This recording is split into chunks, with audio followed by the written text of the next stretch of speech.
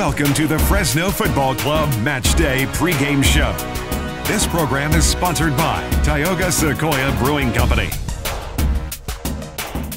Hello and welcome to Fresno FC Match Day. I'm Nick King at Tioga Sequoia Brewing Company in downtown Fresno. Los Zorros coming off another exciting game that finished yet again in a tie.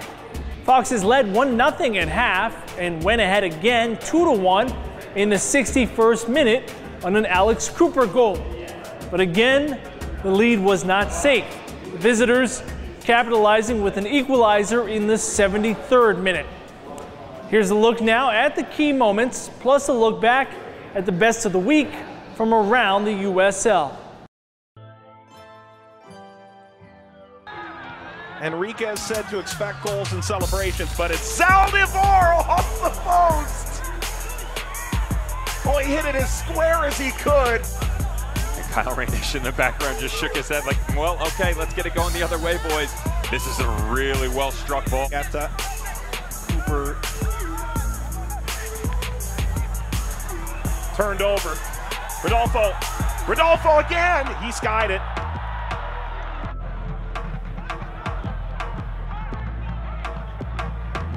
Get Johnson. Johnson will have a go. He pulled it wide left of the post. I mean, Kai Green over and over again making the clearances. Hop back up. The net is empty. Cortes lost it. Ribeiro follow is off frame. Laying up Cooper Johnson. Cooper again on the left hand wing. It's a nice build up here for Fresno. The cross is in an own goal. Fresno takes a one goal lead at the half hour mark. Beneficiaries now. Team play. This is everything that you could want out of your squad. Moving from the back in the middle, touches it inside, brings it back outside. What Jerson Echeverry was trying to do with Monday. Cooper! Oh, goodness, it just falls apart. Donovan knocked it away. Cooper almost pulled off the dribble of the year. Puck, you have to have those runs to give yourself coverage. They weren't doing it.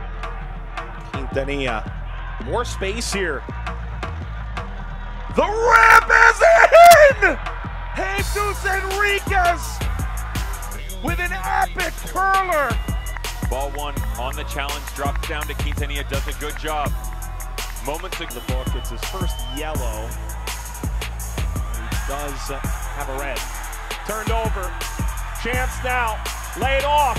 The shot is in by Cooper. The left side was the loose side in the first half.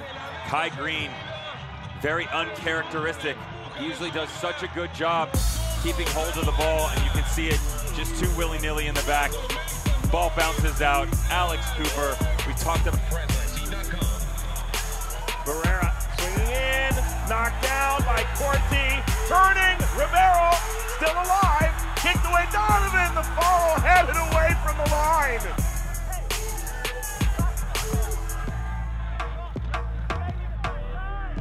Lifted toward Jones.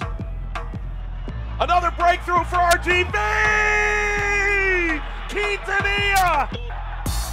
Once again, Nicholas Brea stepping up. We've seen him all night long. And how about the ball?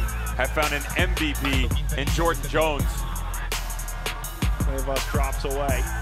Chiva Cuevas caught by Corti. Malkin, Rivero, After it's still, it's full time. RGV pick up their first road point of the season. Adam Smith and Fresno have to settle for one.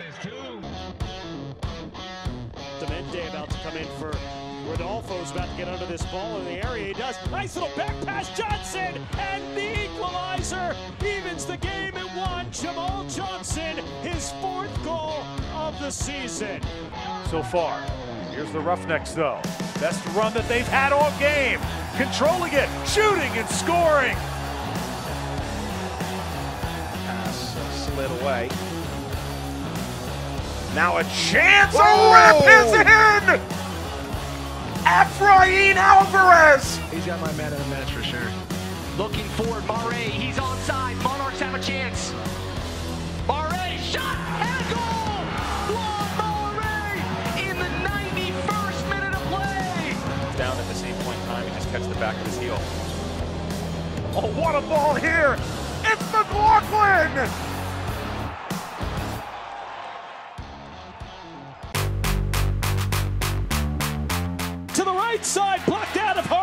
Harm's way. Allows Restrepo to get back in. Casadas a chance. What a save by Restrepo. It was another fantastic save by Diego Restrepo. This one delivered in dangerously to the penalty area. Oh. Great save by Maxime Crepeau off that close range header. Oh my goodness, that was an absolute terrific save, Graham. Cashier, Cashier from distance! Pushed up and over the crossbar. A good look, and that one had eyes for the back of the net. Gets away from his defender, now sends it in towards goal. Headed save, Marcinkowski. Rebound won't go either, and Reno able to clear it away. Comes to Walker. Walker will have a go! It's a great save by Williams to pop it over the bar.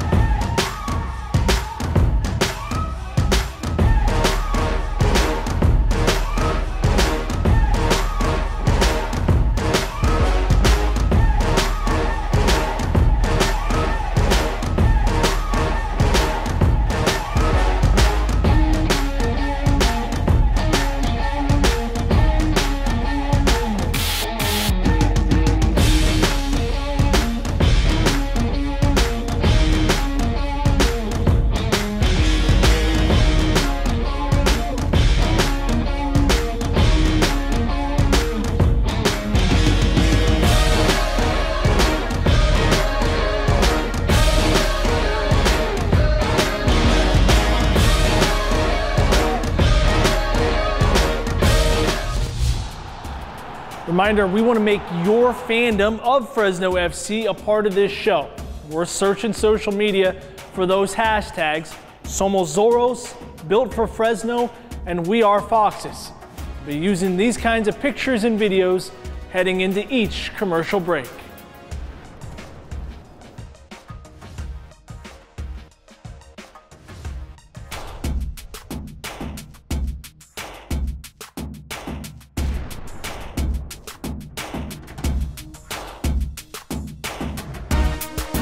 The Fresno Football Club Match Day pregame show will be right back after these short messages.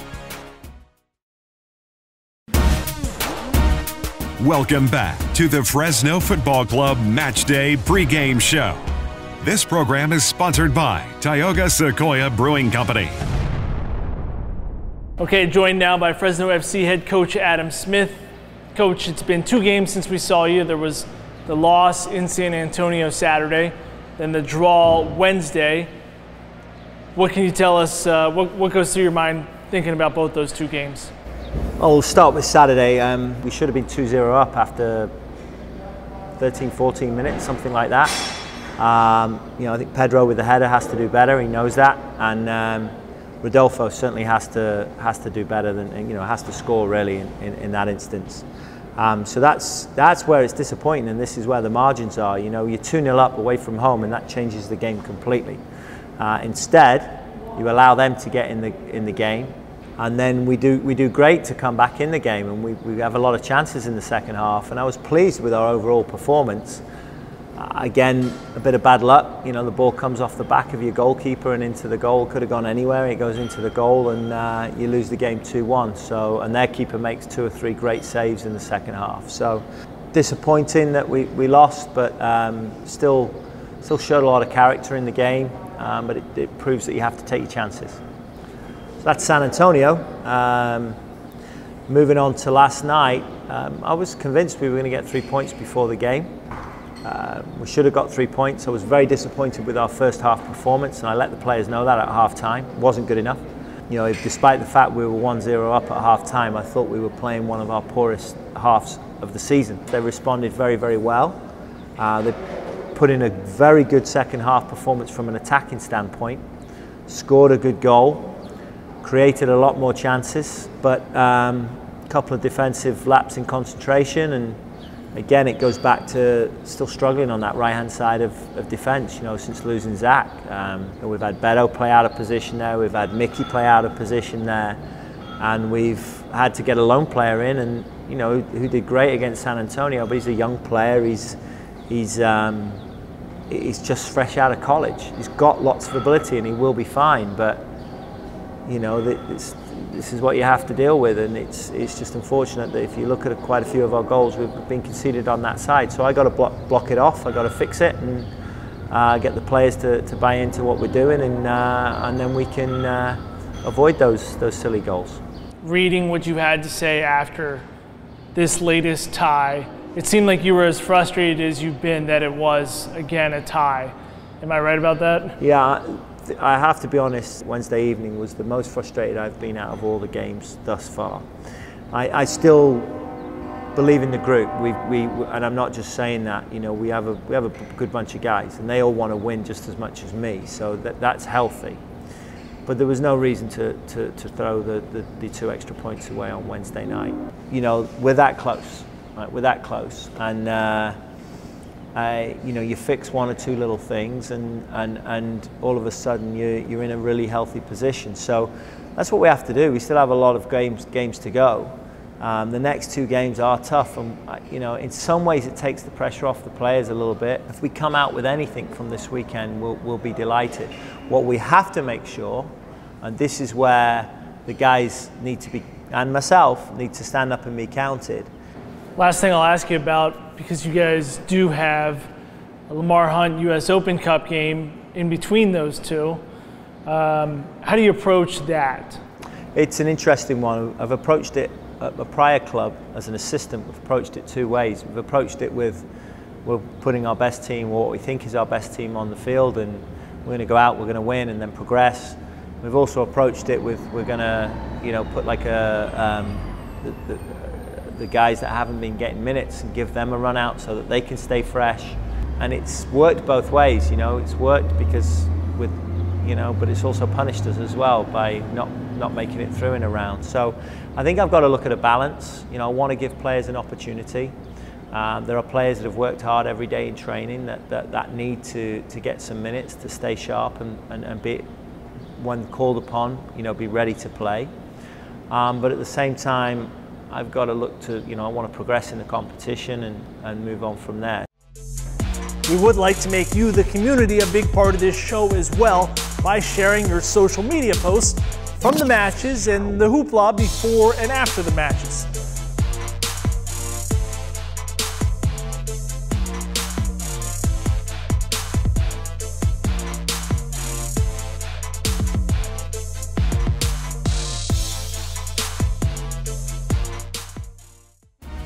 The Fresno Football Club Match Day pregame show will be right back after these short messages.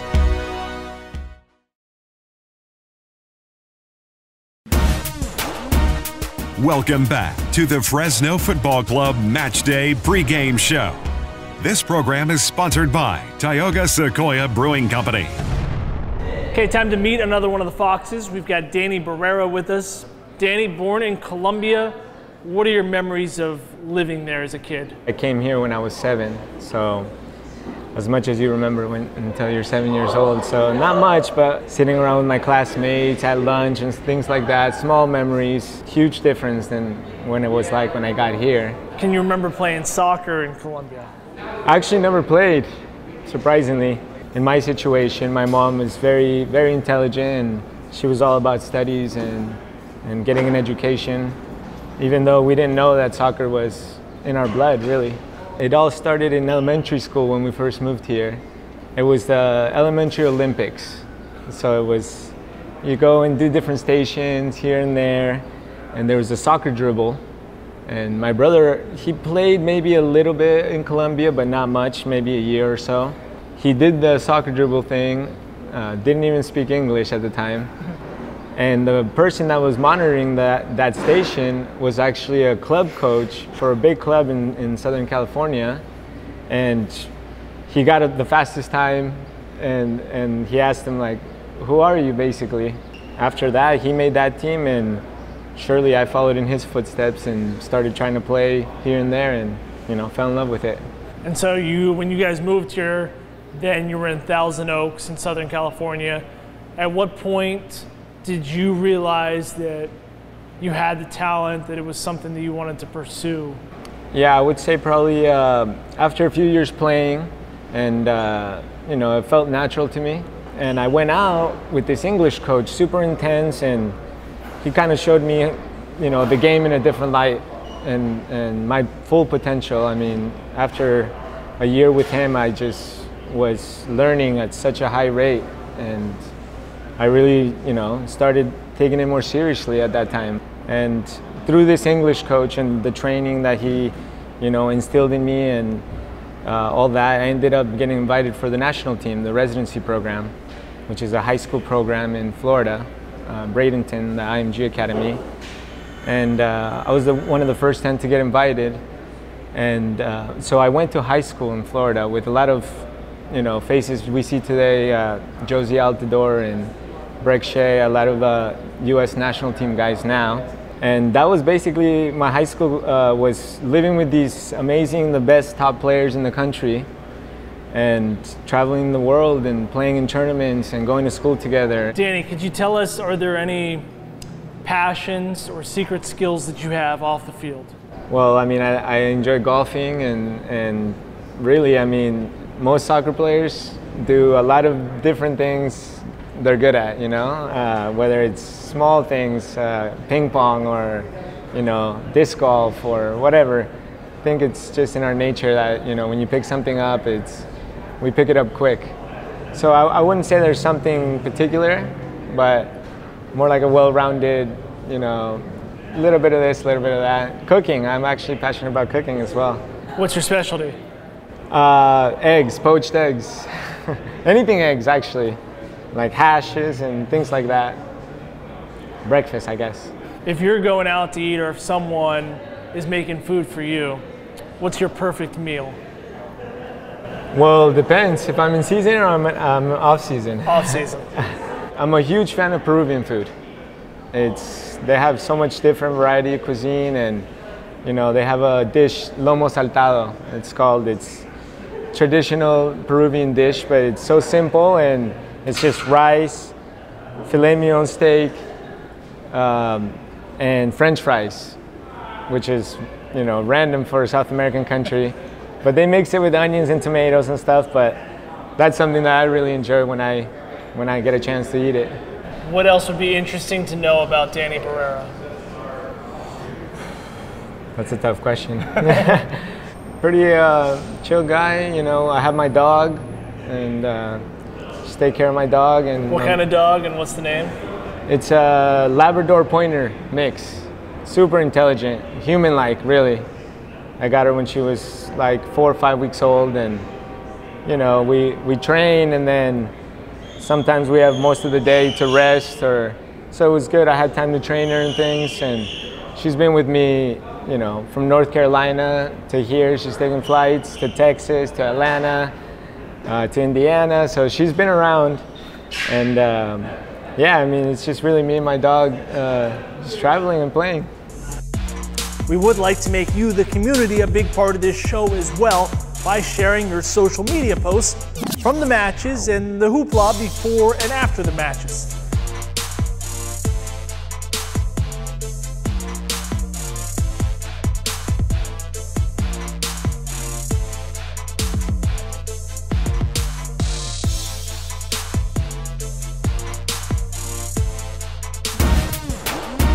The Fresno Football Club Match Day pregame show will be right back after these short messages.